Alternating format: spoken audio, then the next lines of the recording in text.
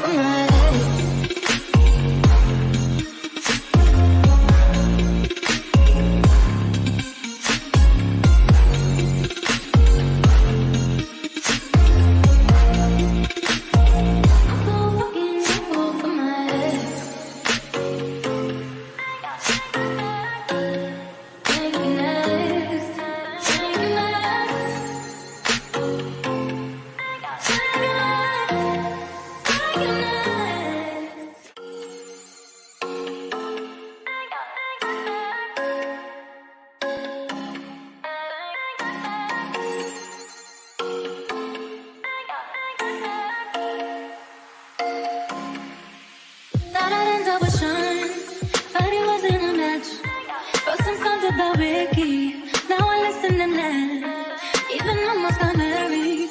And for I'm so thankful. Wish I could say thank you to Malcolm. Cause he was an angel.